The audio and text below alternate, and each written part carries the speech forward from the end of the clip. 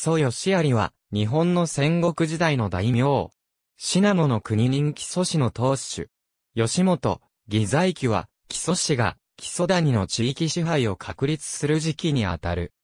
父の吉本は、永正元年7月に、日高区の三木氏が、基礎侵攻を行った際に戦死したと言われとする、遺説もある。幼年期に父を失った義有は、叔父の黒川三郎義勝の貢献を受けながら、成長したという。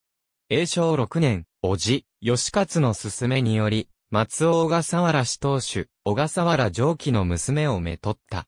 永正10年には、安住軍の領主、西名明生と共に、将軍、足利義種に従軍し、大見国で、六角高頼と戦った。大英7年には、小笠原氏と共に上洛し、左京大部に任官する。美濃国落合から塩尻に抜ける木曽谷の本堂を整備し、各宿に人家を寄せ集め、馬込から新荒馬までの宿駅を定め、後の基礎11宿の原型を作ったという。また、木曽谷の有り余る材木を美濃に輸出し経済力を高めていった。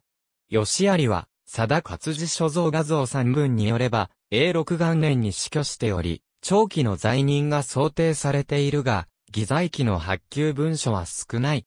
天文11年には、この吉安に家督を譲り黒川口松島に隠居するが、隠居後にも政務に関与している文書が見られる。